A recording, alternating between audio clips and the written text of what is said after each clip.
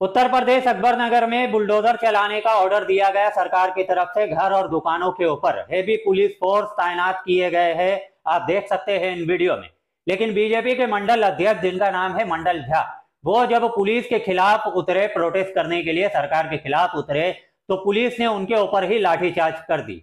ये जो वीडियो आप देख रहे हैं, ये बीजेपी के मंडल अध्यक्ष बताए जा रहे हैं, जिनका नाम है मंडल झा।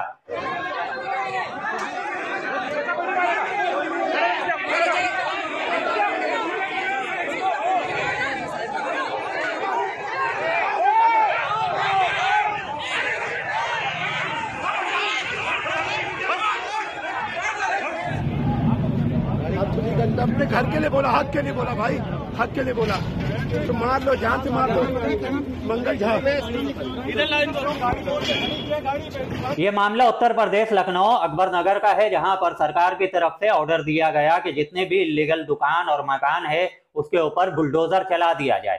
तो ऐसे में बीजेपी के मंडल अध्यक्ष, जिनका नाम मंडल झा है, वो पुलिस के सामने खड़े हो गए प्रोटेस्ट करने लगे और उसके बाद पुलिस को उनके ऊपर ही लाठी चार्ज करना पड़ा, जिसके बाद ये तस्वीरें निकलकर सामने आई है।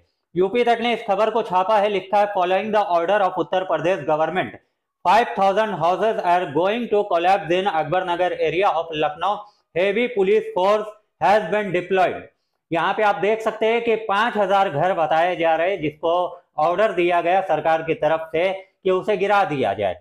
लेकिन उसके बाद में आपको जो खबर दिखा रहा हूँ, वो आप देखिए। काबिज अज़ीज़ ने इस वीडियो को ट्वीट करते हुए लिखा है, ये बीजेपी के मंडल अध्यक्ष मंडल झा है।